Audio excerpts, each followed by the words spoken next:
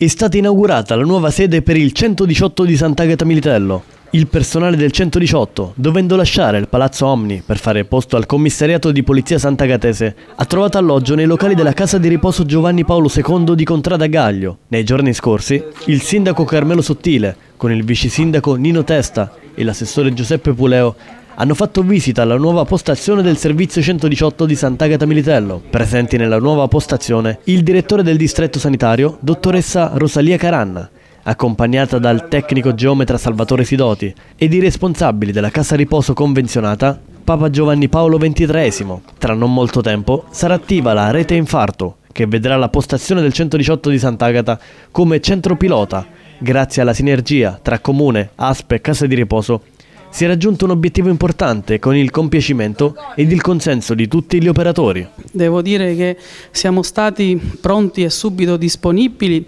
ad mettere a disposizione del 118 i nostri locali perché ritenevamo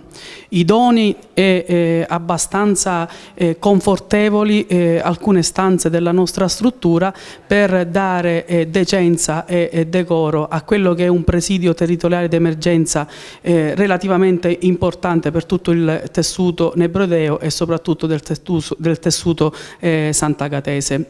Finalmente abbiamo trovato dopo una travagliata ricerca un posto idoneo per ospitare quella che è la postazione del 118 di Sant'Agata che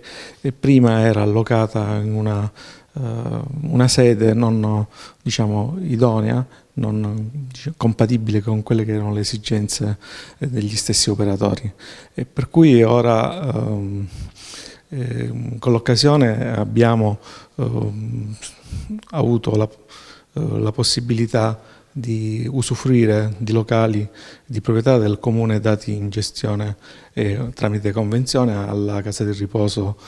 di Contradagaglio eh, che eh, proprio in questi giorni hanno manifestato la loro disponibilità a contribuire a mantenere questo servizio.